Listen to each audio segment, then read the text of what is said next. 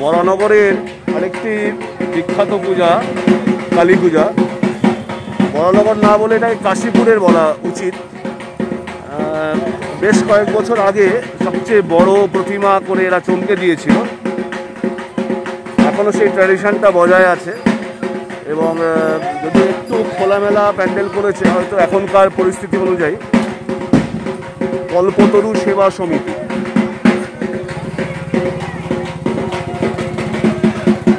আমরা আস্তে আস্তে ভেতরে ঢুকে দেখি প্রতিমা দর্শন।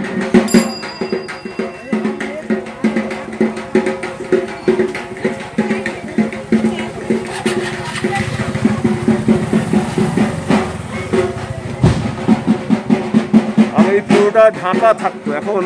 এখনকার পরিস্থিতি অনুযায়ী খুলে দিয়েছেন এরা। যেটুকু শুনেছি এই ঠাকুর, এই ঠাকুরের ঠিক পেছনেই পুকুর আছে। এবং সেই পুকুরেই এই ঠাকুরের বিসর্জন দিয়ে দেওয়া হয়। মানে এত বড় ঠাকুর হতো আর কি। এবছরও নিশ্চয়ই প্রতিমা অনেক বড় হয়েছে, দেখছি আমরা। ঠিক পেছনের পুকুরেই এই ঠাকুরের বিসর্জন দিয়ে দেওয়া হয়। কাশীপুরের কল্পতরু সেবা সমিতি, আপনারা আসবেন, দেখে যাবেন। আমাদের সমস্ত আসুন, আমরা প্রতিমার কাছে যাই।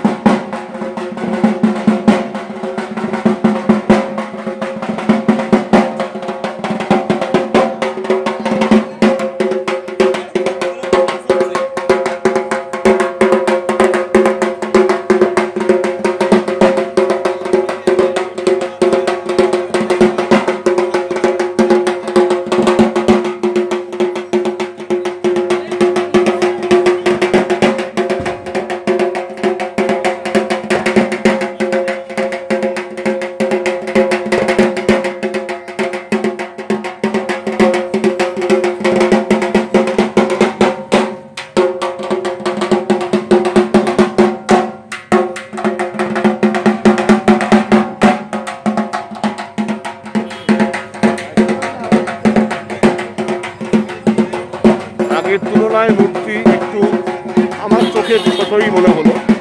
আমি আরও বিশাল মূর্তি দেখতাম বলে মনে হচ্ছে।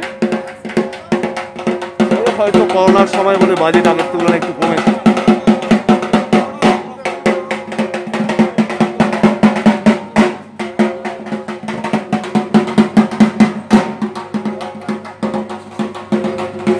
ছোট্ট জায়গা রয়েছে।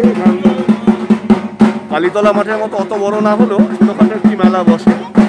বাচ্চাদের নাগরদোলা কিছু কিছু পশরা এদিকে টেপু টেপু সব পাওয়া যাচ্ছে।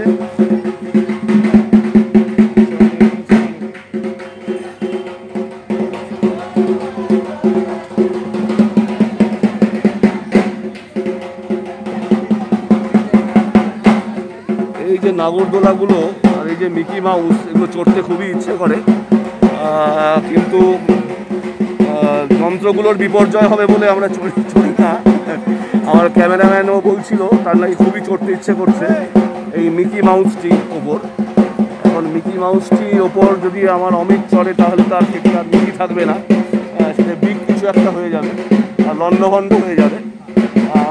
সেক্ষেত্রে আমরা সেই দিকে যাচ্ছি না, তবে আপনারা অবশ্যই আসবেন এবং কল্পতরু সেবা সমিতির ঠাকুর দেখে যাবেন। আপাতত এইটুকুই এখানে রাখছি। এখানে চলে এসেছেন একজন চলে এসেছেন। কিছু বলবেন নাকি? বলুন। না না। না বলুন কিছু বলুন। হ্যাঁ ছবি এটা খুলুন তাহলে ছবি আসবে করতে হ্যাঁ, বলুন আপনি কি করেন? ইনি ফুচকার ফুচকা ব্যবসায়ী। এখানে কতদিন ধরে মেলা হবে? তিন দিন মেলা হবে। কিরম বিক্রি বাটা হচ্ছে? এখন সবে শুরু হলো তাই না? সবাই আশায় রয়েছেন, অনেক ভিড় হবে, তবে তাদের ব্যবসা জমবে। আপনারা অবশ্যই আসবেন কল্পতরু সেবা সমিতি। শিথির মোড়ের থেকে খুব একটা দূরে নয় আসবেন এবং মাকে দর্শন করে যাবেন। আপাতত এখানেই রাখছি, আবার দেখা হচ্ছে অন্য কোনো প্যান্ডেলে। দেখতে থাকুন, সঙ্গে থাকুন, সঙ্গে রাখুন। সম্রাটের অস্থির